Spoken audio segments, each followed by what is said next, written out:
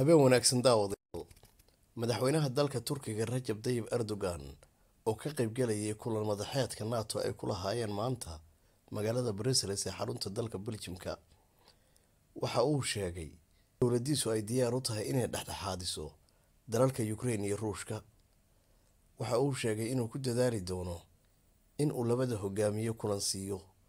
Waa madaxweynayaasha valadimir putin iyo madaxweyne valadimir zelenski waxa uu sheegay adduunka haddan la joogo inaan looga baahnayn dagaalo noocan oo kale ah.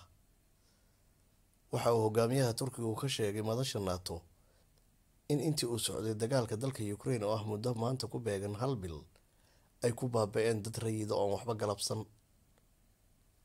Waxa uu sheegay inaan loo baahnayn inay mustaqbalka dhow dhacaan dagaalo noocan oo kale ah kana waa in la joojiyaa waxaa hogaamiyaha turkiga ku eedeynayaa nato uu qeyb ka yahay inaanay keenin qorshe rasmi ah oo lagu xalinayo arrintaa dagaalkana lagu joojinayo. Laakiin uu isagu ballan qaadayo inuu noqdo kan isu keena xooggiiso dhan isugu geeyay inuu joojiyo dagaalkaas. Dowladda turkigu waa dowlad weyn. Marka la eego sooyaal ahaan waxay ka soo jeedaa dowladdii cusmaaniyiinta oo iyadu ahayd mar boqortooyada adduunka ugu awooda weyn.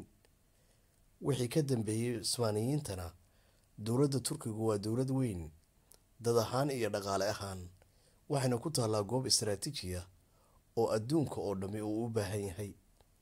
Sanadihii ugu dambeeyey marka laga soo bilaabo labadii kun iyo saddexdii xilligaasoo erdogan hogaanka dalkaas qabtay waxa uu sameynayay horumar dhan kasta ah waxaana sanadihii la soo dhaafay ay noqotay goob loogu tago tiknolojiyadda qalabka caafimaadka qalabyada militariga ee kala duwan iyo wax kastoo laga heli karo dal horumarsan ama u jahaystay inuu qaado waddada horumarka. Intaasoo dhammina waxay ku yimaadeen dadaal uu geystay madaxweyne erdoganka ilaa iyo hadda dalkaa hogaaminaya oo isagu dhowr jeeroo hore soo qabtay xilal kala duwan ay ka mid yihiin ra'iisul wasaare duq magaalo inta cimrigiisa uu jirana u shaqeynayay qarankiisa. Marka loo eego dhanka diinta waxa uu ahaa hogaamiyaha ugu hadalka wanaagsan. Kulan walbo ay naata yeelanayso ama qaramada midoobay lagaga hadlayo taasoo ay ka muuqato dhaqanka wanaagsan ee suubana islaamka. Oo isagu xaaraantinimeynaya dagaal gardaraaya in la laayo dad aan waxba galabsan. Isagoo ka duulaya asluubta wanaagsan ee islaamnimada waxa uu ballan qaaday iyadoo ay fadhiyaan madaxdii reer galbeedka oo sheeganaya inay adduunka uga awooda weyn yihiin inuu isagu leeyahay karti uu labada hogaamiye isugu keeno kuna wada hadal siiyo. Waxa uu sheegay inay tahay tanu mas'uuliyad inagoo dhan ina wada saaran loona baahan yahay inaynu muujino wax ka qabadkeeda iyada oo aan la eegeyn hadba xulafada aynu ka tirsannahay.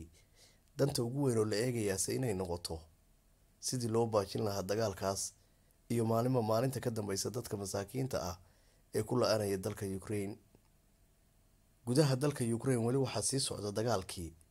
Ciidamada ukrain waxay sheegteen goor dhoweyd inay gubeen markab ah kuwa ay ciidamadu ku gaaraan xeebaha kuna degaan oo ay iska lahaayeen ciidamada ruushku. Waxaynu ognahay in ruushku ku gacan sarreeyo dhanka badda madow oo ah badda keliya oo ay ukrain leedahay.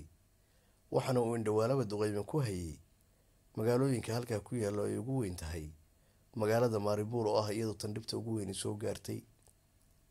Marka la eego magaalooyinka kale ciidamada cirka ee ruushku waxay wadaan duqeymahoodii. Halka ciidamada dhulka ee ruushku ay isku dayayaan inay weli magaalooyin qabsadaan. Maanta waxaa ku buuxsantay bil tan iyo markii uu duulaanka ku soo qaaday ruushka gudaha dalka ukrain welina ruushku ma gaadhin natiijo wax ku oola oo la taaban karo waxa uu ilaa iyo hadda qabsaday magaalada kharison oo iyadoo ah mid ku dhow karimiyadii uu horey labadii kun iyo afar iyo tobankii ula wareegay. Ma jirto magaalo weyn oo kale oo ilaa iyo hadda ay ciidamada ruushku gacanta ku dhigeen. Dabcan markii hore dowladda ruushku ma saadaalinayn inay sidan dhici doonto. Ankee dowladaha adduunku ma saadaalinayn ciidamada ruushka oo ah ciidamada labaad ama kuwa koowaad ee ugu awooda weyn adduunka in ukrain ay intaas ku qaadan doonto. Waxaase arrintaas sababay ciidamada dalka ukrain oo si wanaagsan ugu dagaalamaya dalkooda iyo dadka reer ukraine oo iyagu habeen iyo maalinba u taagan siday garab u siiyaan ciidamadooda. Guuldarrada ruushka ka haysata gudaha dalka ukraine ilaa iyo hadda waa tan abuurtay cabsida ugu weyne adduunka taasoo ah ugu dambeyn inuu adeegsado hubabka kala duwan ee waxgumaada maadaama ciidamadiisii dhulka iyo cirkuba ay qaban waayeen ilaa iyo hadda magaalooyinka waaweyn dalka.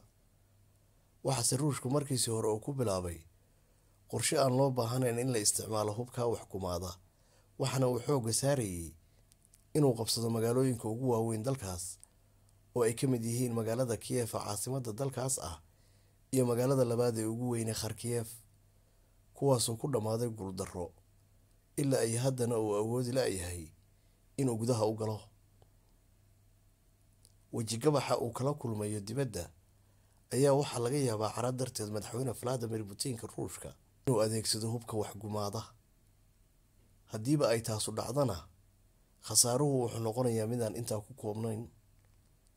Waxaana khasaaruhu gaarayaa dalalka deriska oo ka tirsan iyagu nato oo ah awood kaloo ku hubaysan hubkaa waxgumaada waxaa adduunku qarka u saaran yahay haddii aan arrinta la xallin inuu ka bilowdo dagaalweyne saddexaad kaasoo sida la hubo noqonaya dagaal nukliyar ah. Dhanka kale waxaa iyagu dhicisoobay wadahadallo dhowr jeer ay isugu yimaadeen dowladaha ukrain iyo ruushka kuwaasoo ku wada dhammaaday guuldarro. Labada dowladoodba waxay taagan yihiin qodobadii iyo shuruudihii ay wadahadallada ku xirayeen. Dhanka ruushku waxa uu taagan yahay in dhammaanba ciidamada ukrain ay hubka dhigaan madaxweyne salaski uu meesha ka baxo kadibna ay iyagu ciidamadooda dib ula baxayaan halkaana ka dhisayaan dowlad iyaga taabacsan. Halka dowladda ukrain ay taagan tahay ruushka oo ku dhawaaqa xabad joojin kadibna si shuruud la'aana ciidamadiisa ugala baxa dalka ukrain taasoo aan ahayn mid marnababa ka suurtoobaysa dalka ruushka. Badanaana wadahadallada noocaas oo kale ah qolo walibna ay la yimaadaan shuruud iyaga u gaar ah oo aan macquul ahayn waxay ku dhammaadaan fashil iyo maalin walba dhibta oo sii siyaada marka aad eegto dalka ukrain siduu ahaan jiray iyo sida uu maanta yahay waa wax aada iyo aada u kala duwan. In ka badan boqolkiiba sagaashan waa mid burburay dadkiisiina dhimasho iyo dhaawac iyo barakac ay ka cararaan dalkooda ayay u dhaxayaan. Marba haddaanay jirin qodobada iyo shuruudaha lagu xirayo wadahadalka oo ay labada dhinacba tanaasul ka sameeyaan. Naatana aanay keenin qorshe cad ay arrinta xal ugu raadinayso. Dagaalku waa mid sii socon doona. Khasaaruhuna sii badan doona. Daawada ku xirnow kanaalka. Sabskribe saar gambaleelkana furo mahadsanid